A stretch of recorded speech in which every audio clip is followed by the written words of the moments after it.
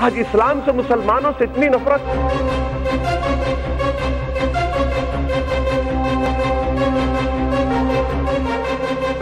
کیوں آخر کیا ہے؟ ہم انسان ہیں، اس ملک کے باعث شہری ہیں۔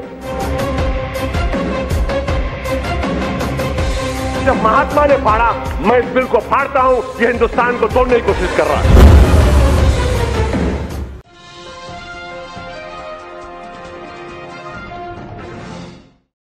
ناظرین، بھارتی پارلیمنٹ کے ایوان زیری نے بھارتی پارلیمنٹ میں تارکین وطن کی شہریت سے متعلق متنازع ترمیمی بل کی منظوری دے دی ہے۔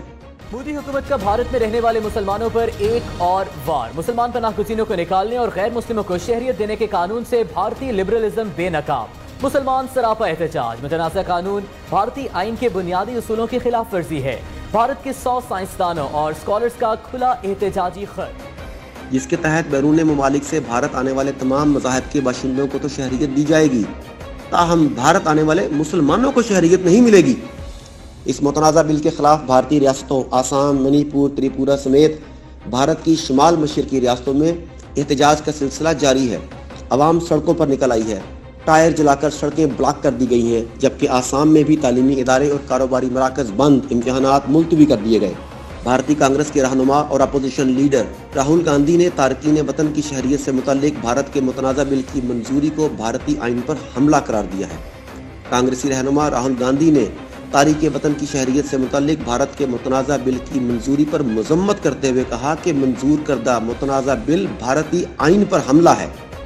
راہل گاندھی کا سٹیزن شپ ترمیمی بل پر کہنا ہے کہ اس بل کی حمایت کرنے والا ہر شخص بھارتی قوم کی بنیادوں کو نقصان پہنچانا چاہتا ہے۔ دوسری جانب، حیدرآباد دکن سے تعلق رکھنے والے بھارتی پارلیمنٹ کے شعلہ بیان مقرر۔ اسد الدین اویسی نے بھی سٹیزن شپ ترمیمی بل کی مذمت کرتے ہوئے گزشتہ روز مسودے کی کاپیاں پارلیمنٹ میں پھاڑ ڈالی تھی اسد الدین اویسی بھارتی لوک سبھا میں سٹیزن شپ بل کو متعارف کرائے جانے کے خلاف تقریر کرتے ہوئے کہتے ہیں کہ اس بل کا مقصد مسلمانوں کو بے وطن کرنا ہے۔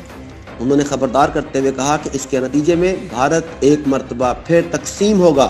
قانون جو بنایا جا رہا ہے اس لیے بنایا جا رہا ہے کہ دوبارہ پارٹیشن ہو۔ یہ خانون تو ہٹلر کے اس خانون سے ہی بتر ہے۔ کانگریسی رہنما اور سابق مرکزی وزیر ششی تھرور نے بھی لوگ سبھا میں متنازع بل کی مضمت کی ہے۔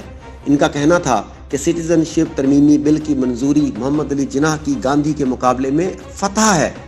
واضح رہے کہ بی جے پی حکومت کی پیش کردہ بل کا مقصد سٹیزن شپ بل انیس سو پچپن میں تبدیلی کرنا ہے، جس کے تحت پاکستان، بنگلہ دیش اور افغانستان سے تعلق رکھنے والے ان غیر قانونی غیر مسلم شہریوں کو بھارتی شہریت دینا ہے، جو اکتیس دسمبر دو ہزار چودہ یا اس سے قبل بھارت آ گئے تھے۔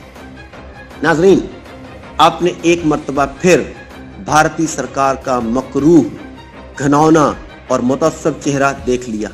اب بتائیے، اب وہ لوگ کیا کہیں گے جو ابھی بھی بھارت سے دوستی کا اور امن کی آشا کا پرچار کرتے ہیں؟ کیا یہ بہت بڑا سوال نہیں؟ جب مہاتما نے پھاڑا، میں اس بل کو پھاڑتا ہوں، یہ ہندوستان کو توڑنے کی کوشش کر رہا ہے۔